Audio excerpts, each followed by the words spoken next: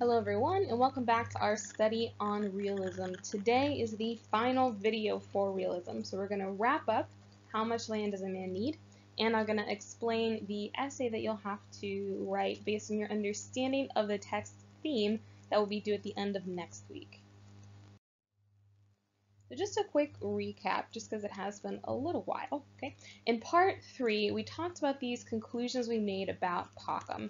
And one of the conclusions we make over and over again is the fact that his greed blinds him to the clear warning signs that he should be seeing, right? His dream being the biggest of all these warning signs, and he simply just shrugs it off. But also we have this idea that his greed also drives him to distrust others. So he is driven to blindly believe what he wants, but also driven to distrust even the kindness of others, right? We had the Bashkirs willing to give him all this land that he wanted, and he's very suspicious from the get-go. And finally, we also see how he treats those beneath him with disrespect. And this is significantly important in terms of how he treats his own servant, right, who's referred to in the text as his man. And we, we think that this is really just awful behavior from Pahom's side because he comes from a lower class existence, just like his, his servant does, right? He came from this peasant background, but now because he has wealth and prosperity, and he almost has his hands on even more wealth and more prosperity, he thinks that he can treat those below him in a way as if they're less than himself. And we also talked about, in terms of our literary focus, first this idea of folktale elements, primarily beginning with the deal, right, that has to exist in certain folktales, right? And the deal here that we see is that Pahom can have as much land from the Bashkirs as he wants, so long as he is able to cross as much as he can, right, in a day.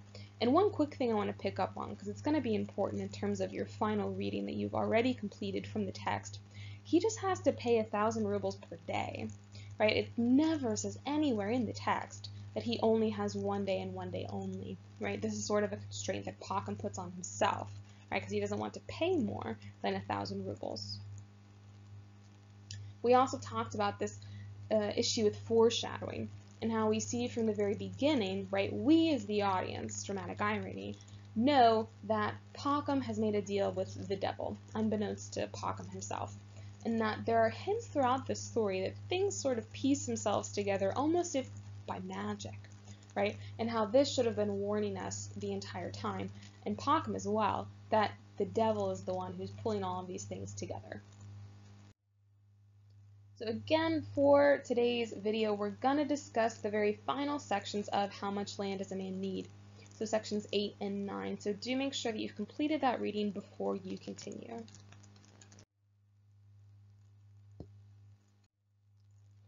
Let's go ahead then and look at our analysis for section 8.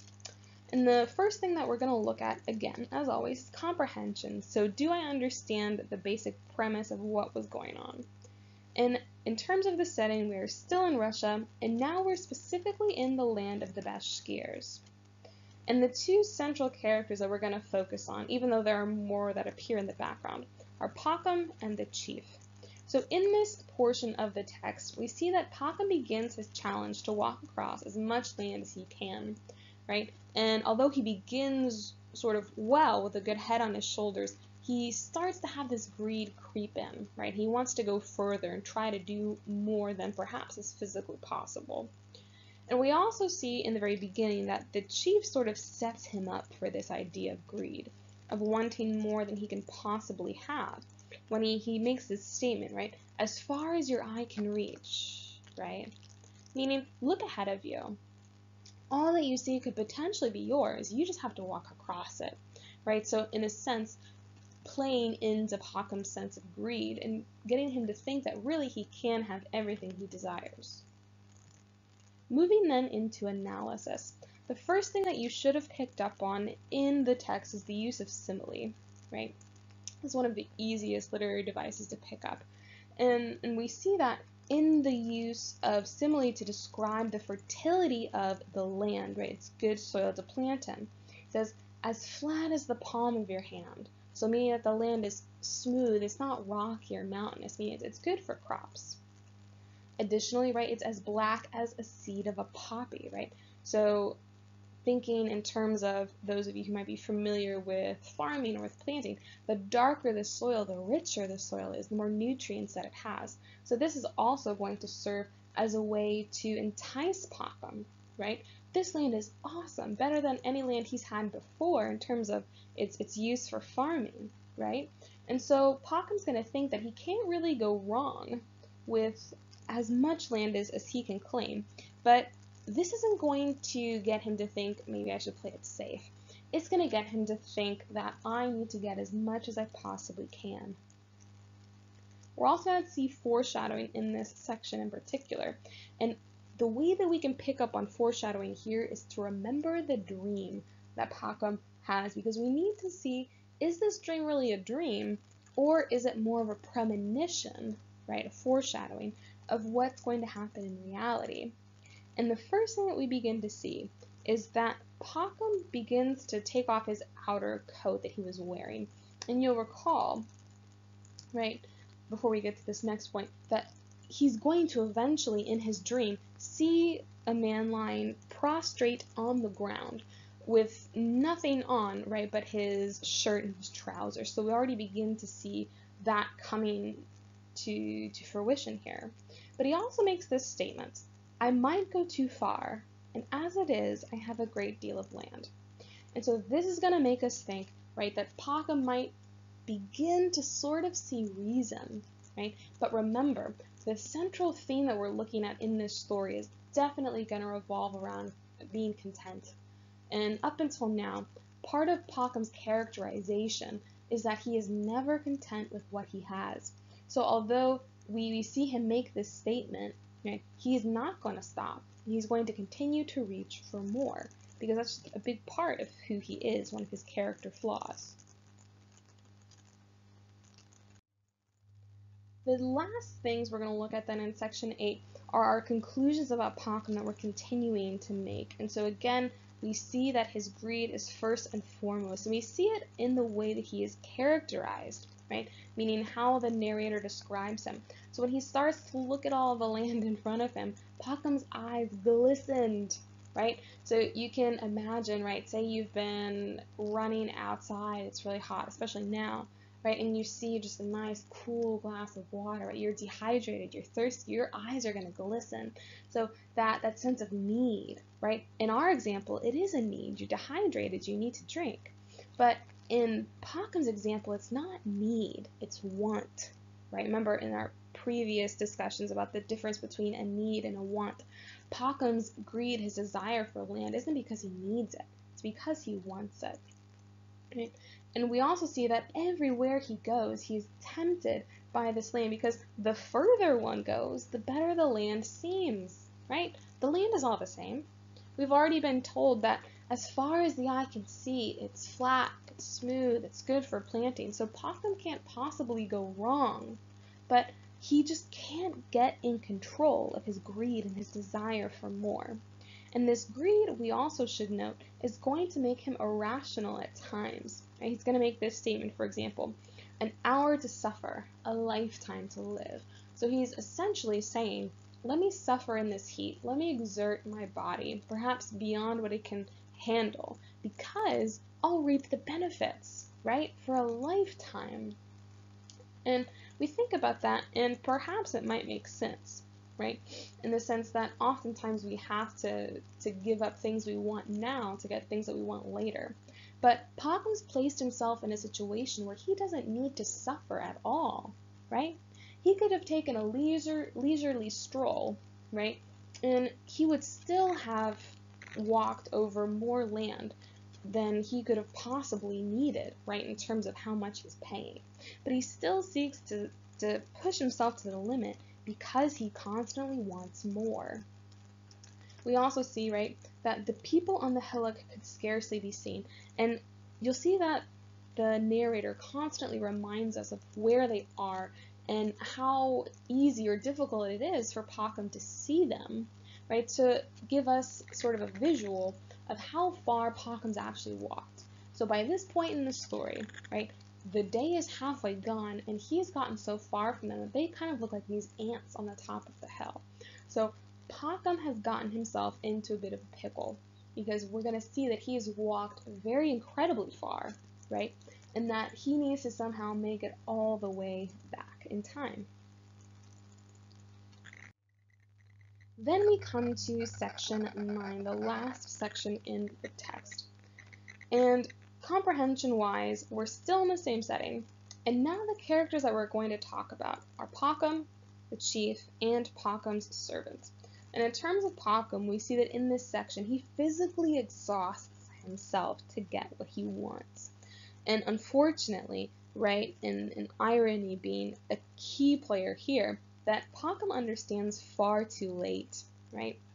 That he has been tricked, that the dream that he had was a warning, and he's going to pay for this mistake with his life, right? In essence, paying for his greed with his existence. We also see the chief here, and something that we need to question now, right, is was the chief like the mysterious tradesman, like the peasant in the beginning of the story, the devil in disguise.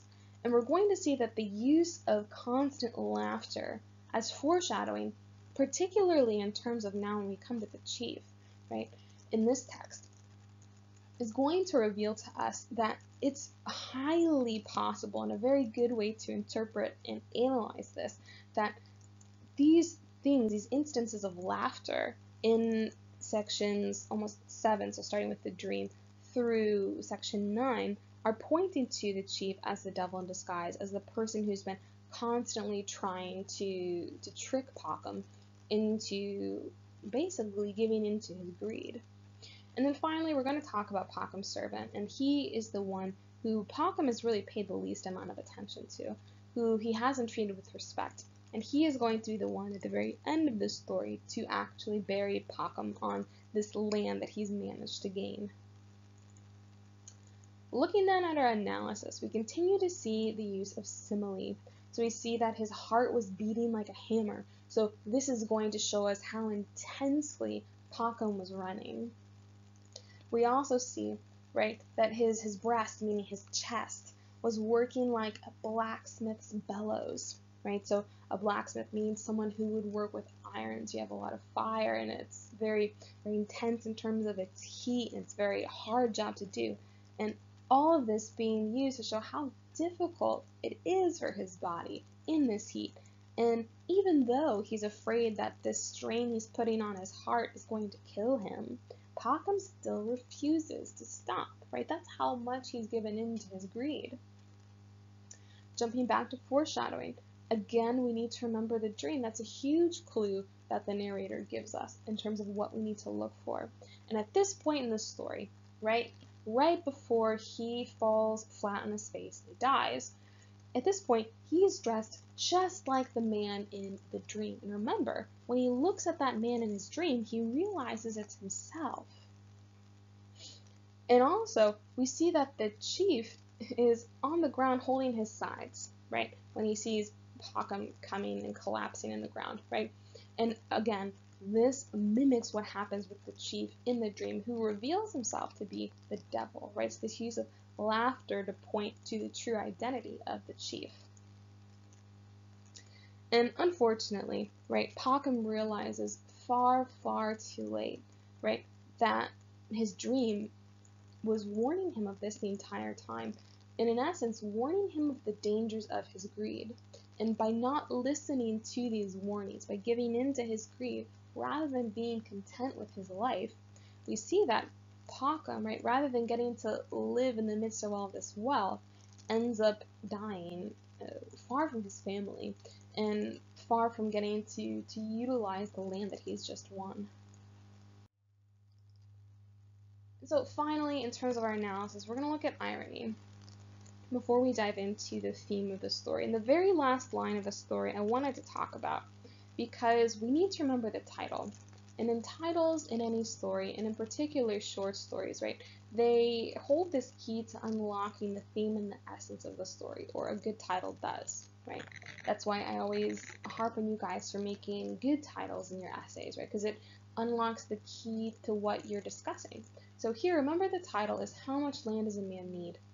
And the very end of the story answers that question for us, right? Six feet from his head to his heels was all he needed. And this would have been the typical height for a grown man, right? So essentially saying, in the end, right, when we're gone, the only land that we need, right, is enough land to bury us in. And although this could be sort of a, a depressing thought to think about, right, it holds this deeper meaning in one, highlighting the fact that Pahom realizes too late in life what is actually important. Remember, he spends all of this time trying to chase after land and chasing after more. He neglects his family, he abuses his family, he's never content, he constantly moves. And in the end, it's all for nothing because he doesn't get to enjoy the simple pleasures of life. And this is what's going to lead us to our theme. And remember, we, we think about the theme in terms of what is this greater moral message that the author is trying to teach me.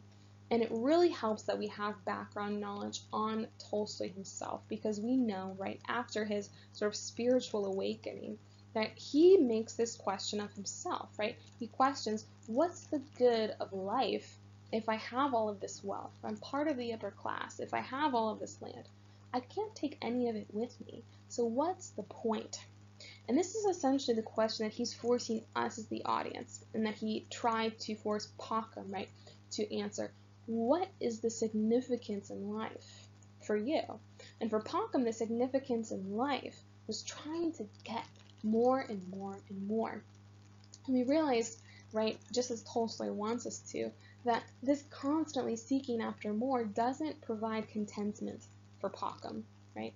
So in a sense, Tolstoy, through this story, is trying to, to also get us to, to realize that it's not about material goods, right? That's not where we're going to find our contentment in life, but in the deeper things, the deeper meanings in life. That is where we find contentment, sort of looking through those things and what's truly important. And another thing we can pick up on, right, in terms of theme, looking specifically at the story, is that this constant focus on greed, leads to loss rather than gain, right? From day one of the story, right, the moment that Pahom says, we would be content if, this is where he opens himself up to temptation.